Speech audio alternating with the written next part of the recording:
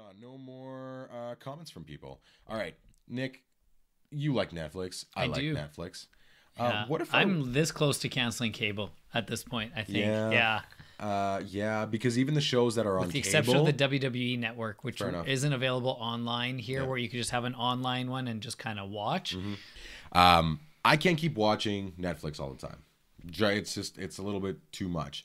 And now on top of that, because I, I mean I do have a day job, Yeah. you know, and it's really tough binging because otherwise everything else goes to hell. Uh, Netflix wants to put out a thousand originals by the end of 2018. It's a big goal to have.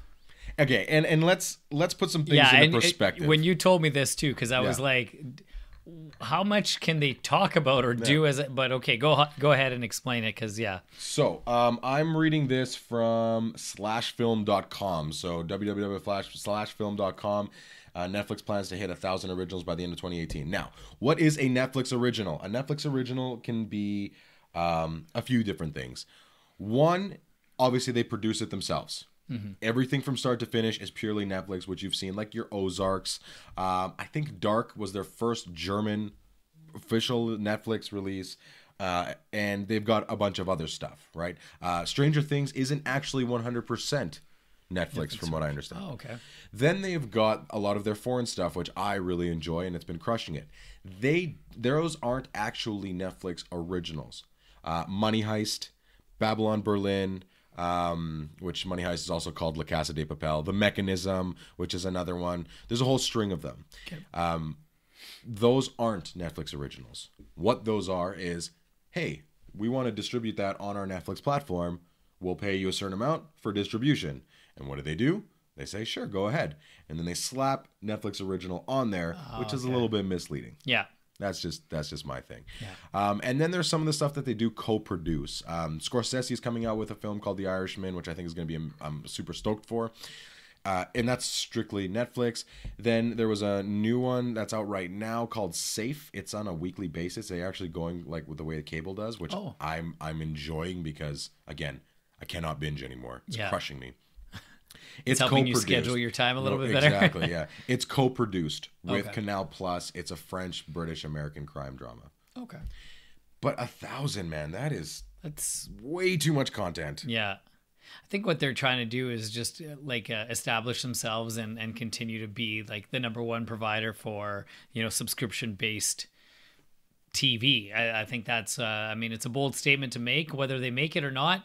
I mean, clearly they're doing well enough, even if they're able to, you know, buy rights for or produce on their own, like to have a 1000 I mean, I don't think they've said that number just for the sake of saying it. Like Yep. clearly they have the ability and the uh, the income behind them, the revenue stream where they could afford to have that many you know TV series, whether distributed or produced directly from them, Yeah. to be a part of it. Like that's that's incredibly Im- impressive for what is it now? Like it's ten bucks a month. Like it's Something like that. yeah, Yeah. it was um, originally eight. I don't know if it's much. I know it's gone up since, but like Well, they, they yeah, they're they're already look back in February. Netflix. So in, in the slash film thing, it revealed its intention to release 700, and they're already on track, and they're on track to hit the thousand uh, total original. Well, and here it says.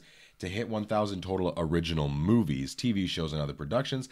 This happens just as Disney, Fox, and other big companies are beginning to vacate the streaming service uh, right away. Like, I just think my worry, my concern is that none of it is going to be special anymore. Um, and I, and I was watching um, Screen Junkies news talk about this, and one of the guys on there was saying they're like before when it was a Netflix original, you were it, it had prestige to it. Yeah. Now, and there's a lot of stuff that they released that's not very good. Yeah. Like all the Adam Sandler stuff, I do not care for. yeah, And so to do this with a thousand, and then when I think about Scorsese giving the money to do his movie, it just feels like for a guy like him, even though the, the they wouldn't give him the budget outside, he's just gonna get lost in the shuffle.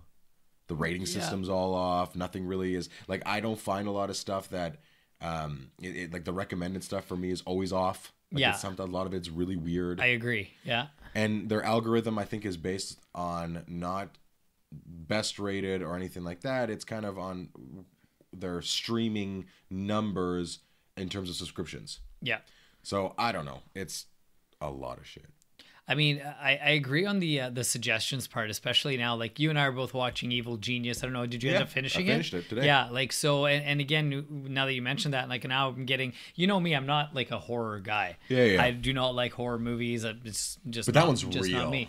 That one's real. It's a documentary. Yeah. But like now, my suggestions are all these horror movies. Yeah, and it's it, like was, it was a scary kind of thing. because it was a scary kind of a thing. Maybe you should Although, start watching some horror. uh, no, I'm not. Although you did a really good uh, podcast on that. Yeah, yeah. Uh, friend, a mutual friend of ours Yeah. uh, named Brett, who's a big horror fan. Um, we it's on our it's on Apple Podcasts. For some reason, the logo isn't showing up, which is a big pain in the ass. It's this big purple block, and I don't know why. So if you Maybe that's your new it- logo? yeah, maybe. we had a Um, really low budget for logos. So. super low. Um, but yeah, we were talking about horror movies and stuff like that. Uh, Netflix has produced some. They had um, the Veronica movie that was pretty, you know, pretty popular, but it wasn't as scary as they said it was going to be. Yeah. I don't know. I just think this is a lot. I definitely will not be able to get to at least a percent of this. Yeah, That's way too much TV. yeah. I don't know. And, and I mean, and if it's working for them, it's working Hey, for them. uh, good for them. Yeah.